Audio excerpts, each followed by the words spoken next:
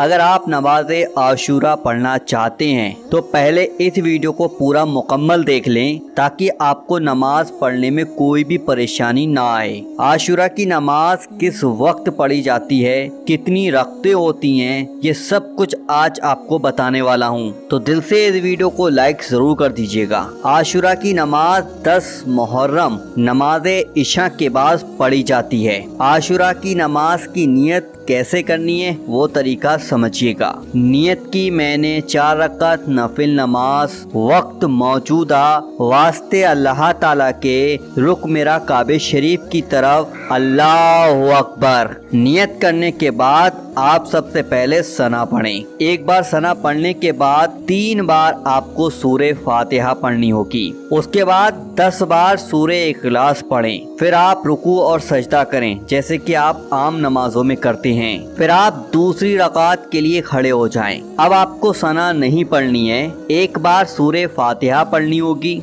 दस बार सूर्य इखलास पढ़नी होगी, उसके बाद रुकू और सजदे करें। फिर आपको अतयात पढ़नी होगी। अतयात पढ़ने के बाद अल्लाह अकबर कहकर तीसरी रकात के लिए खड़े हो जाएँ। फिर आपको एक बार सूर्य फातिहा पढ़नी होगी, उसके बाद दस बार सूर्य इखलास पढ़ें। फिर आप रुकू और सजदे आम नमाज़ की तरह करें। फिर आप अल्लाह अकबर कहकर चौथी रकात के लिए खड़े हो जाएँ। जैसे आपने तीन रकातें पढ़ी थी, वैसे ही आप चौथी रकात भी पढ़ लीजिएगा उसके बाद सलाम फेर लेने के बाद जो भी आपकी नेक जायज़ दुआ हो, वो आप वहीं पर बैठे बैठे मांगिएगा। जो भी आप अल्लाह से दुआ मांगेंगे इनशाला मेरा रब आपको वो सब कुछ देगा जो आप अपनी नेक जायज़ दुआओं में मांगेंगे। जितनी दुआएँ मांग मिले आज मांग लेना, दुआएँ मांगने में कंजूसी बिल्कुल भी मत करना। जितना हो सके, जितना हो सके अल्लाह से दुआएँ मांगे। इनशाला आपकी तमाम परेशानियाँ, मुसीबत, दुख, तकलीफें सारी की सारी खत्म होती चली जाएँगी और अल्लाह ताला आपकी तमाम दुआओं को कबूल फरमाएगा।